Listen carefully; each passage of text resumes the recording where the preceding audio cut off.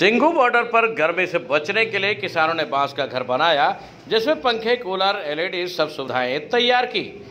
Singhu border पर आप देख सकते हैं, किसानों ने बाँस का यह घर बनाया हुआ है, और बाँस का यह घर किसानों ने अपने हाथों से नहीं बनाया, बल्कि इसके लिए उत्तर प्रदेश से इस काम में महारत रखने वाले कारीगरों को बुलाया गया था, और उन कारीगरों के द्वारा इस तरह के मकान तैयार किए जा रहे हैं।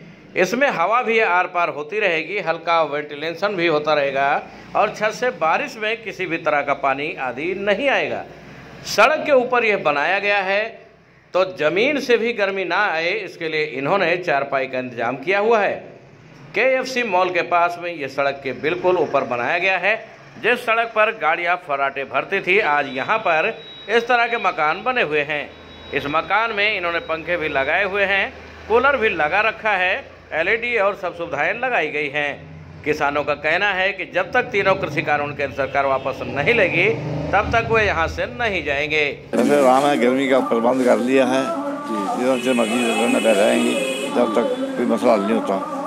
मसला तो बात से हल होगा देखो सर ये जो भी है हमारा आ रहा है जब भी हमारी कमेटी आती है सब आता है।